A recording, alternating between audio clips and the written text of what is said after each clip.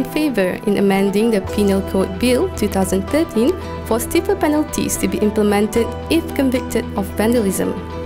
The Kuala Lumpur City Hall had spent 9 million ringgit last year for regular servicing and repair of lifts. Another 12 million ringgit has been allocated for the same purpose this year.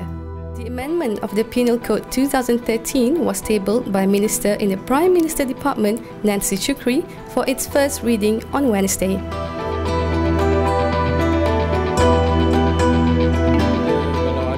Disiplin diri, ada kesedaran sivik, jadi kita tak ada buat benda yang tak elok ni. Boleh dia ditangkap. Memang saya sokonglah 100% untuk ditangkap untuk bayar denda ke saman ke sebaliknya lah. Makcik sokong majlis sokong. Bila buat tindak balas baru dipikir. Tapi biar buat tegas. Kalau tak tegas, barulah penduduk tu berfikiran waras.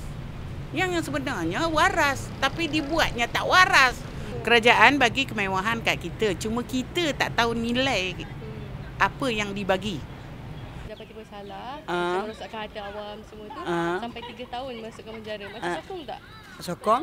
Sokong eh? Ya, yeah, ya. Kita sebagai orang orang tua susah juga nak menegur dia orang ni sebenarnya. Uh, mestilah setuju untuk kebaikan kan, bukan untuk keburukan. Kalau untuk kebaikan tu okey je lah. Dia orang buat macam tu tak ada dengan tak ada manners lah kan. Jadi akak sokong tak benda ni? Mungkin lah bagi pengajaran kan. Dia tahu, ya, sekarang ni dia tahulah jaga hati awam kan.